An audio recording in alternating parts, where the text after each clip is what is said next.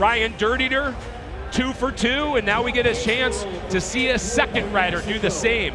It's Scottie Knapp, the 28-year-old who made his debut all the way back in 2010, but was gone from tour for a long time. But he's returned to form. Yeah, come back and he's stacking them up, man. Makes a really good ride right here away from his hand. And I really like the way he finished. He finished better than he started. And that's huge in a judge sport. His career weekend was a few weeks ago in Duluth where he went three for three, including that great ride in the championship round aboard Dang It. That was worth 89 points. Here he faces up against Scarface, and this bull seems to have a typical pattern. Yeah, I love this bull right here. And the longer he goes, the more he gets to hanging in the air. This is a this is a great draw for, for a long round of competition. You can't ask, especially when you've already knocked one down. This is a really good second one. Just as you say that, Scottie Knapp gets knocked around in the chute. He's got Dylan Smith there helping to hold his vest.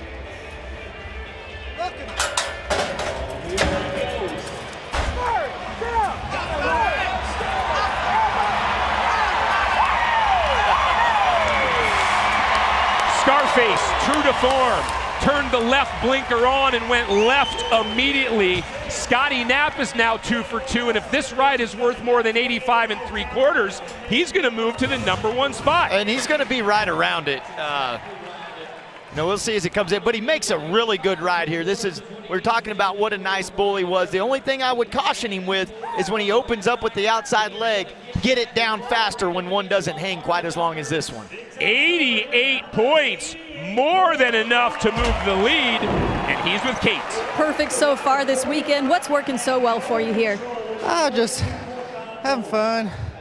You know, I'm not worried about anything. I know I drew good, that always helps, but just relax, let it happen, and you know, quit worrying about all the nonsense. Got to do this, got to do that. I just got to enjoy doing what I love. That's what matters. Well said and good ride. Thank you. Craig. Note to our new fans, that's Scottie Knapp when he's fired up.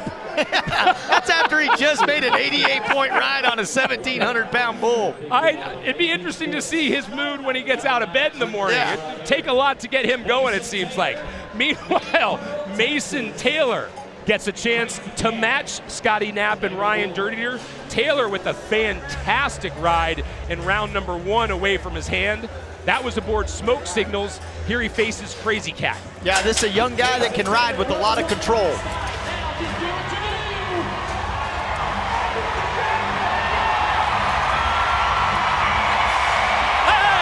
And another cowboy converts.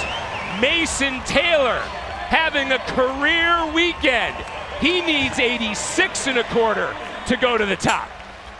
And I don't think these scores are going to be huge because the bull traveled a long way before he ever turned back. But I, I'm really impressed by this ride because this is the kind of bull that can have you shook loose before he ever gets to the spin. Mason didn't allow that to happen. He kept his focus the entire time and just made a perfect ride on a bull a lot of guys aren't going to get by. The commitment, no question. Taylor scores 85 and moves into second overall. There's your leader, 28-year-old Scottie Knapp. How long can he stay there?